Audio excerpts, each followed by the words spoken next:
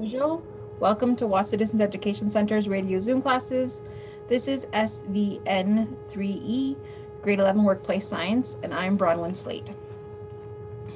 If you'd like to participate live today, you can join, you can call the Wahsa studio at 1-800-465-7144 or 737-4017. You can listen on the radio at 91.9 FM or on the television at Bell ExpressVu channel 972. You can, are always welcome to join me live through the Zoom link, which is available from me and also your DEC. Our classes are scheduled on Monday through Thursday from 3 till 4 in the afternoon. And we are wrapping up our sixth week of our nine week course. Monday is a holiday here in Ontario, so we will not be airing on Monday. So join us again on Tuesday, May 28th, sorry, 24th um, for our next class and hope you have a lovely long weekend. All right, at this point, you should definitely be submitting work for marking if you're hoping to get your credit done this year. Uh, we only have three more weeks of our course and you need to have all of your work in by June 10th. So a reminder that the key questions are the ones with the key icon that are listed at the end of each of your IL lesson. So those are the questions you need to submit. You need to do all of them. Some of them are check your understanding questions, some are activities, some are review questions. All of them are in your uh, workbook that comes along that we send you out um, that has your chapters that you read and then the questions that you answer. So make sure you're following along with what the assignments are in the IL lesson, but that the questions are in the workbook. Please give me full answers showing all of your thinking and your steps how you get to your answers so that I can really understand what it is that you understand and make sure that you're actually answering the question opposed to just talking on the topic. You're welcome to do this by hand or electronically.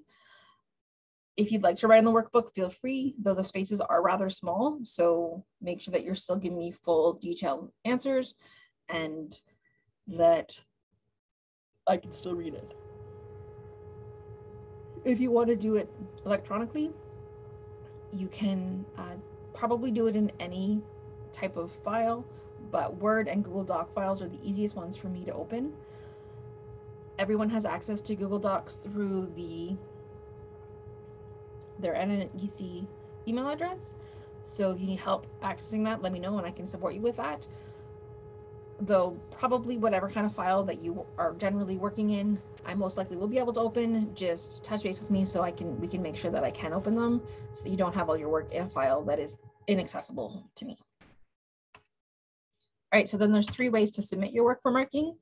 The first is to scan your work in if you've written it out and send electronically or to send me your electronic files. If you do need to scan your work, you can do that using a smart device, either the iPhone Notes app, excuse me, or the Android Google Drive app. Both have scan functions that are fairly straightforward. If you need support with that, I'm happy to support. If that doesn't work for you, you don't have access to a smart device or those apps, then um, you can take a picture. That is fine. They are generally larger files and potentially a little bit harder for me to read, but if that's what you need to do, because that's what makes the most sense for you, go for it and we'll work with it. Then you can send it to me either through email at studentwork at nnec.on.ca and then CC it to me directly, bronwyn.slate at nnec.on.ca, or you can send it to me through Facebook Messenger to be Slate Wahsa. The second method is to drop your work off in Sioux Lookout. We have an outdoor mailbox at our 74 Front Street location. We're the bright red building next to the post office, and we have a small white mailbox next to our side entrance that you can access at 24 hours a day. We continue to be closed to the general public. So just if you're in town and you want to drop off work, just put it in that mailbox and then I'll get it and get it back to you as soon as I can. And then the third method is to hand your work into your DEC. Your DEC can either send your work through the Express or fax it to 807-737-1732 or toll-free fax to 1-800-463-7852. If you'd like to connect with me through social media, both my Facebook and my YouTube are under the name B Slate Wahsa. So you can friend me on Facebook or subscribe to my YouTube channel, and then you'll get notifications every time that I upload one of our lessons. All of our classes are recorded, and then I post them to YouTube in a playlist called SVN3E. And then I also generally share them on Facebook so you can find them there as well. Science is a really visual subject, so I try to put in as many diagrams or pictures or videos if possible to tap into our various ways of learning. So just listening to our lessons are probably not going to give you the full experience. So I strongly advise you to connect with the videos, either joining us live through Zoom, um, though you don't need to participate, you don't need to talk to me or ask me questions, just viewing live can work. That's totally fine.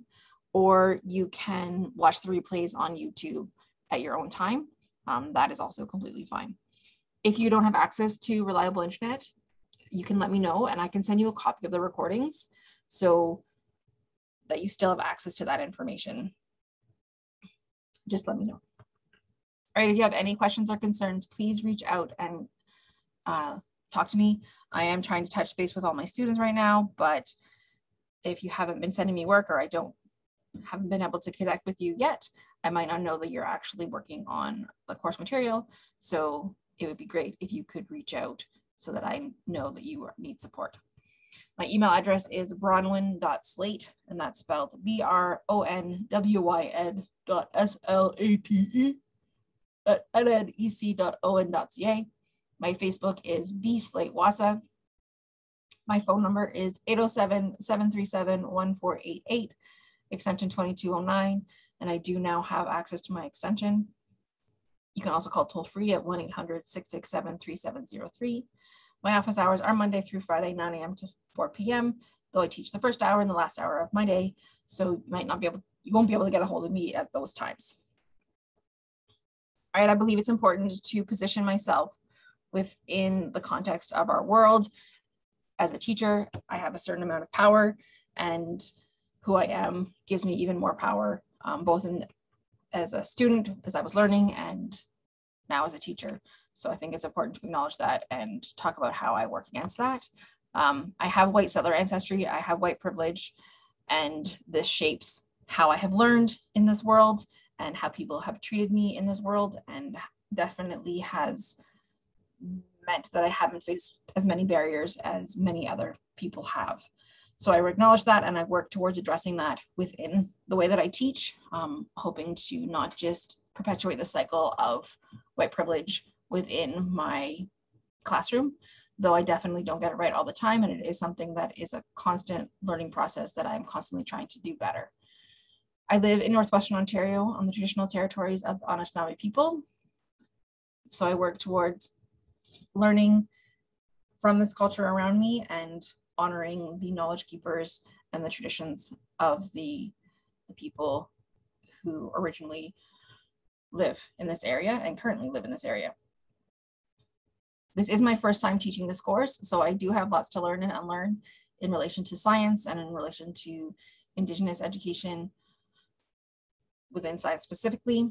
This will be a lifelong journey, I assume. Um, I don't think I'll ever have it all figured out, but I do accept uh, teachings from those around me. So if you have any suggestions on how I can be doing better or things that I'm missing, please reach out and let me know. I've also noticed our textbook is very Eurocentric. So it's very much centered around the white experience, both in terms of the scientists that it speaks about and the communities that the examples that they talk about. Um, this largely means that they're ignoring Indigenous, Inuit, and Métis knowledges and experiences, and this is highly problematic. Therefore, I try to integrate some of the those the bits and pieces that I know about Indigenous, Inuit, and Métis knowledges and experiences that I have learned about in my educational journey. Um, but I definitely don't have it all figured out and I don't know everything. And so if again, if there's anything that I'm missing that you'd like to share with me, I'd be happy to integrate them into my course for both this, the remaining of our time, but also for future courses. All right, so we are in unit five, where we're talking about making work safe and buildings energy efficient. So we've talked about how we as humans have modified our environments, particularly with the places that we work and live, um, building buildings and really changing the environmental space for our own needs. And that has means that we have responsibilities about how we are respecting and treating the environment around us and how we're treating how we're dealing in those work environments. So this is what this unit is about. Today in particular, our lesson is number 17, where we're dealing with workplace hazards. So at the end of this lesson, you will be able to identify and describe some common workplace hazards, biological, chemical, and physical. You'll be able to describe the methods of minimizing risks in the workplace and at home. So the success criteria, you know that you've met those learning goals is because you can describe biological, chemical, and physical workplace hazards, and you can explain how to minimize risks at home and at work. So just sort of positioning us a little bit, as anyone who has spent time caring for young children, life can be full of hazards. We all know this. So unwatched babies and toddlers often put things in their mouths that can make them sick, uh, choke, or poison them. They show no fear of, of objects like cars that move, or water, or electricity. They behave like this because they do not suspect that these things can hurt or kill them. So people in work environments do not have parents and other caregivers to watch out for them, which is hopefully what happens for our young little people. Um, yet, as well, workplaces often hold unsuspected hazards and dangers. So we need to learn about them so that we can keep ourselves safe as well as our coworkers. So first we're gonna talk about some types of hazards. So biological hazards are those that can cause diseases. So the diseases are caused by pathogens like bacteria, viruses, single cell organisms called protozoa and fungi, which we've talked about before. One biological hazard is Listeria bacterium, which we've also talked about before. Um, this pathogen caused a deadly Listeriosis outbreak in Ontario in 2008 and this was at a factory, at a meat processing factory, and then made the people in the factory, people who consumed the, the meat, sick, as well as I think the people in the area. And I believe that seven or eight people died um, by the time that they had it under control. So that's where it started, was in a workplace. Um, then also the Salmonella bacterium is another common pathogen. It is found naturally in the environment and in the intestines of poultry and other animals. Improper food handling and cooking can allow it to contaminate food. People who eat such food often come down with food poisoning, which we've talked about. So work environments at risk for biological hazards include restaurants, food processing plants, dairies, farms, hospitals, veterinary clinics, pet stores, and doctor's offices. So there's very, very many places that we can come in contact with biological hazards. So there are these, um, in terms of their Ontario Food Premise Regulation, there are three different signs that you may see on a business or organization if they have not passed the health unit's um, inspection. So there is the green pass one, and it might look slightly different depending on the uh, the organization, the like municipality, if it's Toronto or if it's Northwestern Ontario, like so it's under the Northwestern Health Unit or wherever they might have, they'll have different logos and things, but generally the same thing is that we have the pass, which is going to be green, which is substantial compliance with the Ontario Food Premises Regulations. They've passed the health inspection to make sure that there's no biological hazards that are going to risk the health of either the workers or the uh, customers. Then we have conditional pass, where there's significant non-compliance with the Ontario food premises regulation. So they need to do some adjustments. They need to fix some things and they're gonna have, have another inspection um, to come to make sure that they have passed, but they haven't shut them down yet. They're giving them a chance to improve. The health inspector is. And then we have closed. So the conditions represent an immediate health hazard to the public. So this red sign that says closed means that they there's something that is going on in this workplace that is going to make people sick. And so they need to be dealt with before they it's appropriate to reopen. So most biological hazards can be avoided. One way to do this is to keep the work environment clean, super important. Another way is to inspect at-risk areas and operations frequently to make sure that pathogens are not present. The third way is to sterilize and pasteurize substances in which pathogens can breed. So milk and potting soil, for example, are both pasteurized to kill bad bacteria. So there's ways, there's various ways that we can deal with biological hazards by just being clean and careful to make sure that we are not being exposed to such pathogens and things that could make us sick. All right, so now we have chemical hazards. So chemical hazards are dangers posed by chemicals that have toxic or harmful effects on the body. The effects may be acute, so immediate, or chronic, which is long term. The danger may be in the form of mists, fumes, vapors, gases, liquids, dust, or solids. So there's lots of different ways that chemicals um, can be harmful.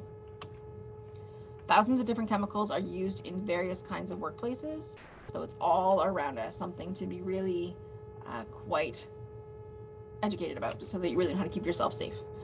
These chemicals may be used to process or make products or to make other chemicals. Not all chemicals are toxic and harmful, but we need to know the difference. We can't assume one way or the other. However, some can have severe and acute effects on health. So this is why it's really important to know what is what you're working with. An example, so one example is chlorine, which is a very poisonous, a very poisonous yellow green gas. And it's used to make bleaching agents for paper as well as as in household bleach. So chlorine is something that we use, but it is a really poisonous when it is in gas form. Uh, chlorine is also used to make plastic solvents and pesticides. Very low levels of chlorine are also added to drinking and bath bathing water to kill pathogens. So it's something that we even consume as we put it in our water. But again, if it's a gas, it is really, really poisonous. So by themselves, low levels pose very little risk to health and health benefits they bring are very high. So this it can be really a good thing, but it also can be really hazardous. So negative effects from other chemicals may take years to show and be chronic. So sometimes you, it's not like it's an instant thing that you're just like, oh, this was a bad thing to come in contact with. It may show up later in life. An example of this is silicosis, a serious respiratory disease it is inhaled by calling, inhaling silica dust. Pure silica is mined to make fine ceramics and laboratory glass. Impure silica is also a common byproduct of many other mining operations. So something that's easy to, you need to be careful about not breathing in. So here are a list of common workplace chemicals and where they might be used and the hazard level. So in the construction industry. We have hydrochloric acid, hydrofluoric acid, and calcium hydroxide are all very common things to work in to have in construction, and they all have high levels of hazard. So they are very dangerous. Um, but within cleaning concrete, they're used to clean concrete, to clean brick and etching glass, and to make cement. Um, so they are used frequently. You just need to do it safely. So then in farms and nurseries, pesticides and fertilizers, which we've talked about before, are chemicals that are often used. Uh, pesticides have a high hazard level, though fertilizers have a low to medium level. Uh, pesticides are for controlling disease, so it makes sense why they'd have a high hazard level because their purpose is solely to um, kill things whereas fertilizers are help to boosting plant growth, so not as hazardous. Within the health services and veterinary clinics, there are drugs and sterilizing agents. Both are very high in terms of hazard level, as drugs are for treating diseases and sterilizing agents are for killing pathogens. Both are really about will affect your body significantly. Resource extraction, so this is like mining or drilling or logging, taking resources out of the earth. Um, so we need to, to use that. They use explosives and fuels. Explosive has a high hazardous level and fuels are medium to high level. So for explosives, this is for like breaking rock or log jams. fuels for vehicles, heating, fuels that we use all the time, as we know. And then finally, manufacturing is the industry, and they use sulfuric acid, solvents, and petrochemicals. So sulfuric acid has a high hazard level and it's for cleaning metals. Solvents has a low to high, so it really range depending on the situation, how much you're using and the how uh, can't think of the world how strong it is. Um, so this is for cleaning or making solutions.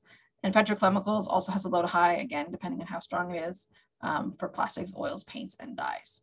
So various things that we do that are very, or that we rely on fairly frequently has various hazardous levels, um, lots high hazardous levels for the people who are working in those industries. So hazard, chemi sort of chemical hazards can be minimized with proper care and training. Staff should be thoroughly trained in the safe use and disposal of the chemicals. The chemicals should only be kept in approved containers. These should be clearly labeled as to the contents, the dangers, and first aid procedures. The chemicals should be locked in safe storage cabinets when not in use, and only a few trusted people should have access to the keys to those cabinets. When no longer needed or after their expiry date, the chemicals should be disposed of according to local, provincial, and federal, federal regulations.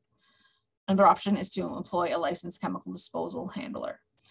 So chemicals, as we saw, are used in lots of different workplaces and are important for various things that we, we use. And so it can be, they can be used safely. They just, you just need to be trained appropriately. So if you are working in an environment that has, you're using chemicals to some degree, however it is, you need to be trained how to do it safely. That's super, super important to be trained how to use the tools that you're using safely. All right, and then we have physical hazards. So physical hazards are those that pose a direct threat to your body. Most work environments, even offices, present one or more physical hazards. These hazards may not look dangerous. For example, a wet floor, a loose carpet, a misplaced chair, all present physical hazards that can cause serious injury. Some environments present um,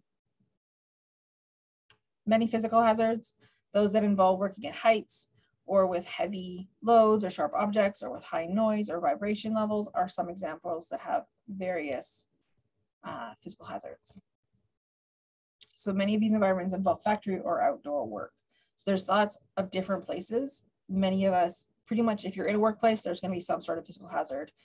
Some to the more extreme, if you are working on a hydro truck and you're going up in the bucket and working in electrical lines, that's one kind of, you know, there's various hazards there. Or if you're working in a train yard, that's going to have different hazards. Or if you're working in a school, um, there's different hazards there. So it really depends on your environment and what you need to be cautious of. So factory tasks, farming, and fishing often involve working with heavy loads and powerful machines. Fishing carries the added risk of working on wet, slippery, and shifting surfaces in all sorts of weather. Working on airport tarmacs may mean exposure to high noise levels with every takeoff. Most construction jobs present a variety of physical hazards, including noise.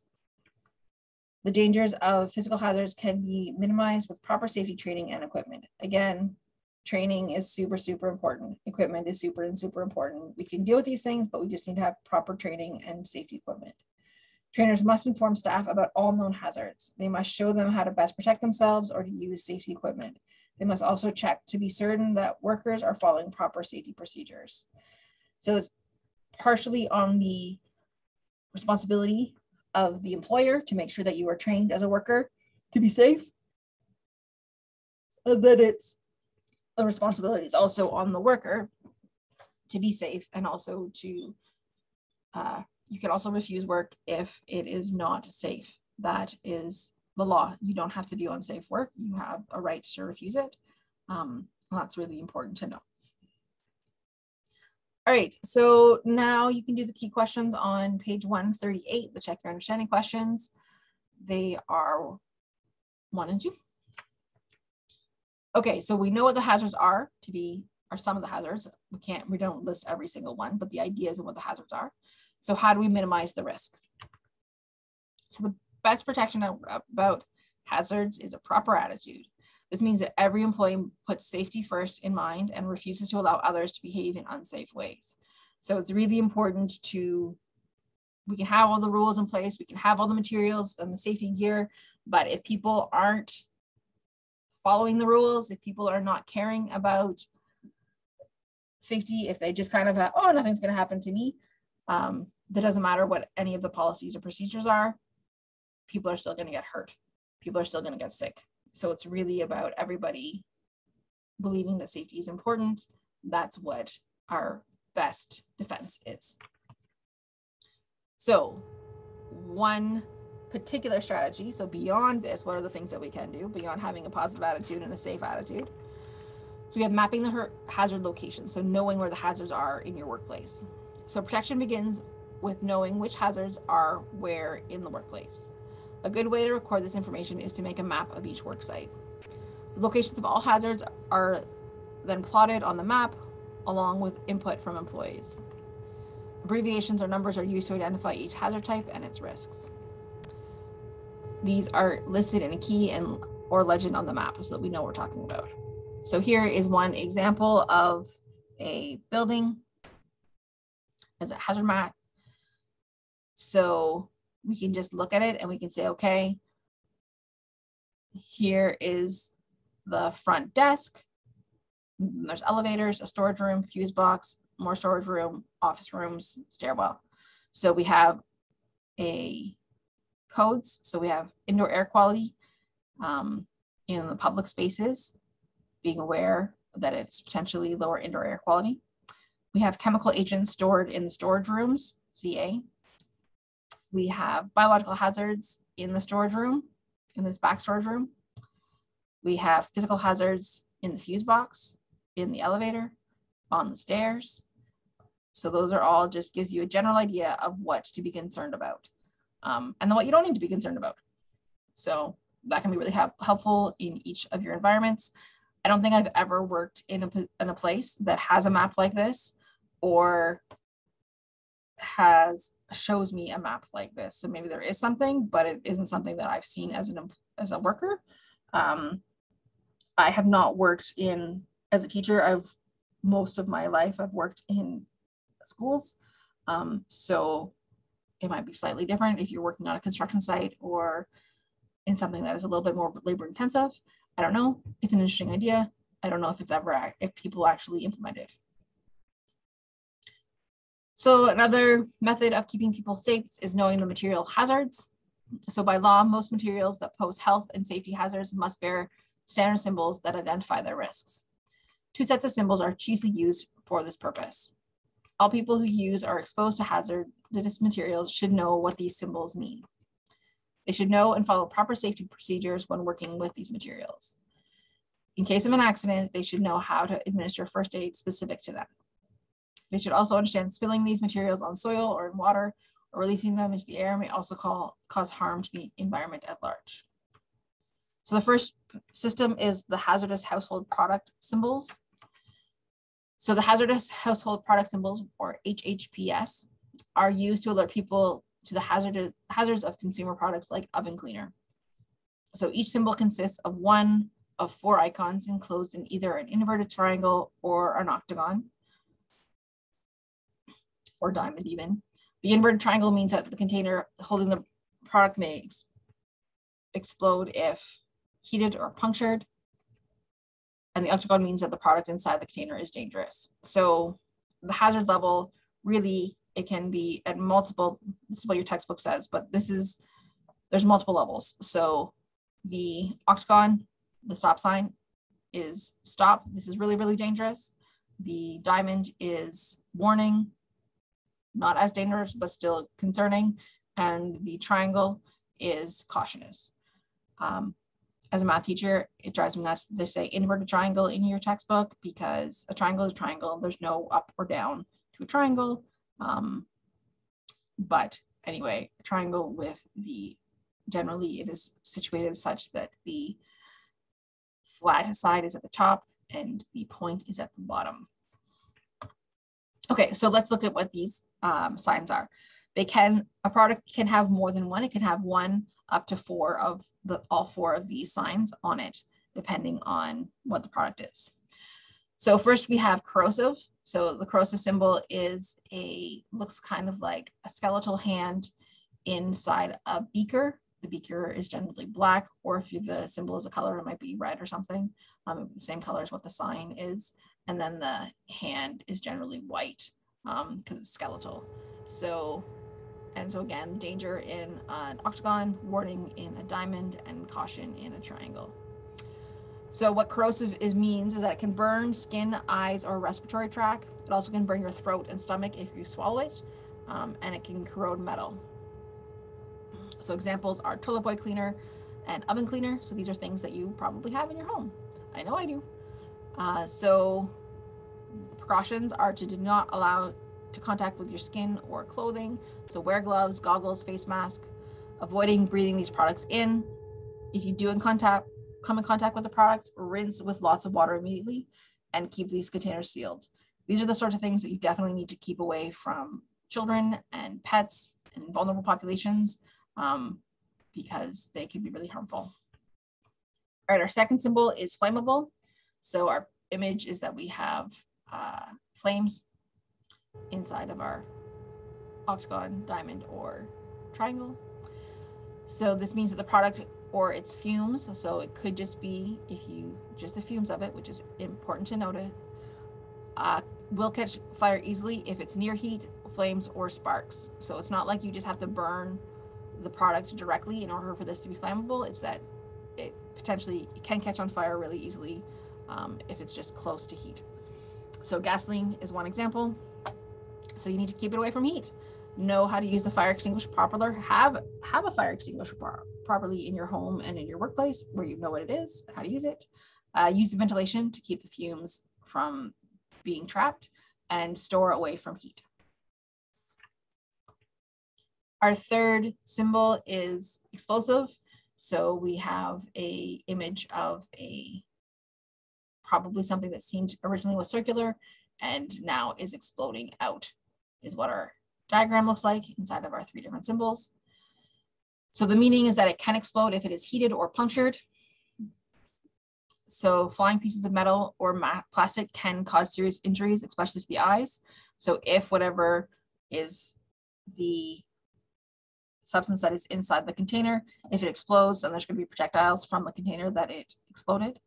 Um, it can also corrode metal. I think that's probably a typo from me copying and pasting my slides. My bad. Sorry about that. Um, a spray paint in an aerosol container is one example. Probably pretty much anything in an aerosol container is explosive. So precautions, handle it carefully, do not drop or heat it, don't mix it with anything else, and have proper storage of is important. And then our final hazardous household product is poison. So we have a skeleton, a skull with a crossbones behind it is the symbol for poison. So it could be fatal if swallowed or inhaled. This includes licking, eating, drinking, and sometimes smelling the products could cause illness as well as death. So windshield wiper fluid and antifreeze are examples. So do not allow contact with skin or clothing. Wear, again, wear gloves, goggles, face masks. Do not breathe in the fumes. Wash your hands after using. Do not ingest these products. If you do, call poison control or 911 immediately. So those are the, the four for the hazardous household product symbols, um, which are probably in things that you have around your home. This second system is the Workplace Hazardous Material Information System symbols, which is also known as WHMIS. So WHMIS symbols are used to alert people to hazardous materials used mainly in the workplace. So these ones are more focused on the workplace, whereas the last ones were the household ones. Um, if you are, if you work most pretty much every workplace that I've worked in, I've had to do WHMIS training. So they are part of the Canada's national standard for chemical classification and hazard communication. This standard makes these symbols mandatory on all products containing controlled materials. It also means that material safety data sheets describing the material risk must be provided with every product sale. There are eight WHMIS symbols. Each shows a different icon enclosed by a circle. The icons represent different hazards. The hazards are closed classed from A to F depending on the type of hazard. so this is again training that most likely in most jobs you are going to have to do at some point and hopefully when you get the job when you are starting in order to understand how to deal with chemicals or hazards in your work environment and how to access information about them. So here is a graphic that I found today um, that is WHMIS symbols from 2015. So a little bit old, but also fairly new compared to what is in your workbook because they probably don't change too much. There may be things that are slightly different, um, but this gives us a general idea. And usually they're fairly, kind of the whole point is that you can uh, understand from the image kind of what's going on. So the first one is a um, a gas cylinder is what is inside of the your your symbol. Um, so the classification is gas under pressure. So example of risks are materials which are normally gas gases can be kept in a pressured container, so it may explode if heated, punctured, or dropped. Examples of safe handling procedure, ensure the container is always secure, store in appropriate designated areas, do not drop or allow to fall, protect from mechanical damage. Our second hazard is flame. So this is meaning that it is flammable, flammable, pyrophoric, self-heating, in contact with water, emits flammable gases, self-reactive, or organic peroxide are all reasons why you might have the flame on your chemical. So the example of risks are materials which will continue to burn after being exposed to a flame or other ignition source. So may ignite if exposed to heat, sparks, friction, flames, or incompatible material. How to safely handle, store in properly designated areas. Keep away from heat, hot surfaces, sparks, open flames, and other ignition, ignition sources. Store in a well ventilated, cool place. Then we have flame over a circle. So this is for oxidizer. So it's like the flame, but we have it on top of a circle. So this is materials that which can cause other materials to burn or support combustion. So including oxidizing gases, liquid solids, may cause fire or explosion, may enhance the combustion of other materials. Store in areas away from combustibles in well-ventilated cool place. Store in proper containers which will not rust or oxidize. Keep away from heat, hot surfaces, and sparks. Keep valves, fittings free from oil and grease. Then our fourth one is an exclamation mark. This one might look a little bit different. It looks different in your workbook. And so there may be things that are slightly different. Um, and this is skin or eye irritant, sensitive, skin sensitizer, acute toxic, toxicity, narcotic effects, hazardous to those on there. So poisonous materials which cause immediate and severe harm. Avoid breathing dust or vapors, avoid contact with skin or eyes, wear personal protective equipment, which is effective for exposure situation, work in well-ventilated areas, wash potentially exposed body parts thoroughly after handling. Then our fifth is health hazard. So we have a picture of an outline of a person um, that has a star in their center, sort of over their heart, indicating that they're kind of breaking up, I think, and being sick. So the classification is carcinogenicity, sorry, uh, germ cell mutagenicity, reproductive toxicity, respiratory sensitization, specific target organ toxicity, and aspiration hazard. So these risks are materials which can cause or are suspected of causing serious long-term health effects. How to be safe, work in a well-ventilated area, store in appropriate designated areas, avoid direct contact, use personal protective equipment, obtain and learn special instructions, controls before use, avoid repeated and or prolonged exposure situations. Then we have some more which um, aren't exactly, aren't all in the same in your workbook. Um, so we have bio, biohazardous infectious, so which is this, uh, I don't know how to describe this image a circle with kind of like three crescents uh, overlapping it. So in the uh, risks are infectious agents of or biological toxin causing serious disease or death may cause anaphylactic shock, may include exposure to viruses, yeast, mold, bacteria, and parasites, which may cause disease in animals or humans. So the safe handling is to follow safe laboratory practices and procedures, avoid forming aerosols and breathing vapors, store in special designated areas with limited access and appropriate engineering controls, follow routine practices and universal precautions such as hand hygiene and glove use. Then we have corrosive, again, which is a slightly different image than in the other, in the hazardous, the household hazard ones. Um, so here we have an image that looks like we have a piece of metal and we have a hand that both have test, test tubes dripping over top of it and then the a little it looks like a little explosion or that it's corroding away on those surfaces so it's corrosive to metals can cause serious eye damage or severe skin burns risks materials which react with metals and living tissue skin corrosive burns serious eye damage corrosive to metals again and safe handling use appropriate storage containers and ensure proper non-venting closures wear per- appropriate personal protective equipment, including respiratory protection, because you can breathe it in and it can burn your lungs. Then we have exploding bombs, we have explosives, which again looks very similar to the other explosives, a bit of a circle kind of bomb thing, and then everything busting out. So this can be described as self-reactive if it's severe, organic peroxide if it's severe and explosive, materials which may explode due to reaction to fire, shock, friction, heat, puncture, or incompatible material.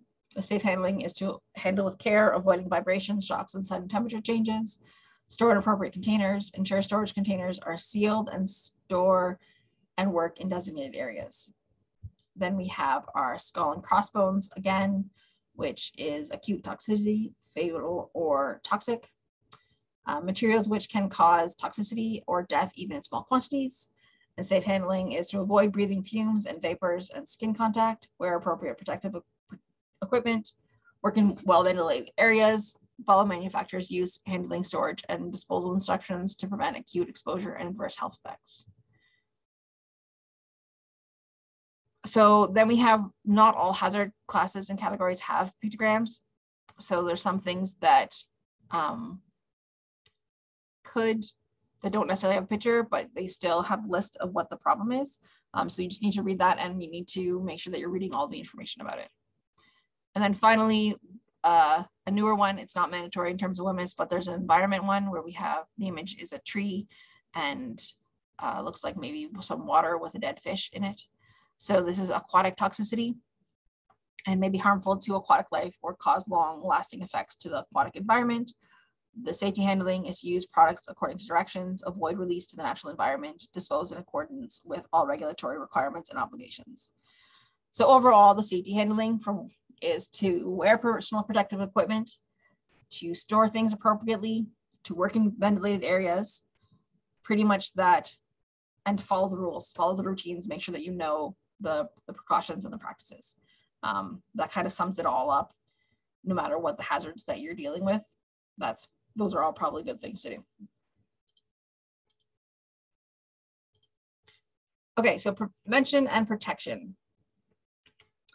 Accidents happen is what people often say, yet so-called accidents have real causes. Everything has some comes from somewhere. It's so what can we do to prevent them? The best way to protect against accidents is to prevent them from occurring. So prevent before dealing with them. Preventing accidents requires forethought, planning, and protection. The three best points at which to do this are at the hazard source, along the path to the worker, and at the worker by using safety equipment. So if we are pre preventing accidents at the hazard source, this means eliminating or minimizing the source of hazard is the best means of preventing accidents. It's also typically the most costly. So an example of control at the source is the use of systems of closed reaction vats in the chemical industry. The vats are used to carry out chemical reactions that may be dangerous or involve toxic or cancer causing substances. Because the hazards are contained at source, no one is exposed. The reactants and products can also be dealt with in an environmentally responsible manner. Another example of controlling of the source is the use of soundproofing in high noise manufacturing environments. However, both of these are investments that the employer or the industry must do. And as probably we all know, um, that is not the most profitable way of making money. And so instead of investing in these things that measures that protect people, many companies don't. And it means that the people, the employers, employees are the people who end up paying with their health um, instead of the employers paying financially to keep them safe. So the second method is along the path. So the path controls are the second best, best means of preventing accidents, and they're typically less expensive than source controls. An example is the use of machine guards in the path of saws, cutting tools, and other moving machinery. The guards are placed physically are placed physical barriers between the hazards and the workers, and they make it difficult for anyone to get hurt or killed. So here is an example on a bandsaw that leaves only enough space for the saw to be exposed when, when cutting work. So there's a wheel guard around the spinning wheel that powers the saw. There's a blade guard here and a blade guard here so that the blade isn't, um, you're not gonna, it's gonna be really difficult to actually get cut. And then there's a wheel guard down here at the bottom. So that just shows some different ways that for one machine, that way that you can protect people along the path while using the, the thing that might, using the hazard. And then finally at the worker by using safety equipment. So personal safety equipment is typically the least costly way to prevent accidents. Such equipment includes protective footwear, gloves, clothing, hearing protection, and five-point harnesses that prevent falls. This also includes safety glasses, face shields, helmets, and air purifying masks, and self-contained breathing apparatus. This equipment is designed to prevent physical injury or to prevent hazardous materials from entering the body. Such materials can get in via ingestion, inhalation, skin absorption, and puncture and wounds. Personal safety equipment is usually dependable. However, it is intended to be used only for short periods and it also does not address the hazard at its source. For this, these reasons, it is considered the least effective way to prevent accidents, but it is probably the one that is most usually used because it is the cheapest for the employer. Um, often things like protective footwear wear or hearing protection are offloaded to the employee that you have to buy your own steel toe boots or bring your own earmuffs or things like that, or you're given a certain number of air purifying masks and you have to use them for a certain number of period of time and it may not be as effective as uh, ideally. So these costs are pushed, often pushed from the employer to the employer employee yet again. Okay, so let's consolidate what we have learned today. So lesson 17, the highlights dealing with workplace hazards. So we talked about the biological, chemical, and physical types of hazards, so things to be aware of no matter where you are working. And we talked about how to minimize the risks, particularly understanding the labeling systems that are on all sorts of hazards um, and respecting them. So not only seeing, oh, look, there's a hazard symbol, but knowing what it means and respecting them and acting accordingly to be safe. So this was the hazardous household product symbols where there were those, there were four um, flammable, explosive, corrosive, and poison. And then the workplace hazardous material information system, which is WHMIS, where there was uh, those four as well as um, a bunch more. But you don't have them all memorized. You don't have to have them memorized. You just need to recognize what they are and make sure that you're safe. And then we talked about prevention and protection so that at the source is the best way to prevent the source of the hazard. If we are able to prevent accidents from happening at the source, that is the best, though it is the most costly. Um, along the path is less expensive and but also less effective. And at the worker is the least expensive, but also the least effective. Though having a combination of three is probably the best protection for uh, workers. All right, so hopefully with our success criteria, you can describe bi biological, chemical, and physical workplace hazards and you can explain how to minimize risk both at home and at work. There are review questions for key questions on page 143, question 1 through 14. So those are where you should check out to see what um, what work to submit. I hope that this was a useful lesson today. Um, again, we are getting close. This is lesson number, I don't even remember in this moment, 17, I think. Um, and we have 23 lessons in total. So we have just another six lessons of new material um, to cover before the June 10th deadline and the end of the term. So please, if you're working on this course, reach out and connect with me. Um, the number at the office is 807-737-1488. My extension is 2209, or you can also call us toll free at 1-800-667-3703. My email address is bronwyn.slate just spelled B-R-O-N-W-Y-N dot S-L-A-T-E at nnec.on.ca. My Facebook is B Slate Wahsa. So you can connect with me there, or you can connect with me through YouTube at B Slate Wahsa, um, where all of our lessons are recorded, have been recorded and uploaded there. My office hours are Monday through Friday, 9 a.m. to 4 p.m., though I teach the first and the last hour of the day. So that is not a good time to try to get a hold of me. If you miss me, leave me a message or send me an email, um, and I will get back to you as soon as I can. I hope you have a lovely day and a lovely long weekend. Remember, we will see you again on Tuesday after the long weekend. Thanks so much for joining me. Mwich.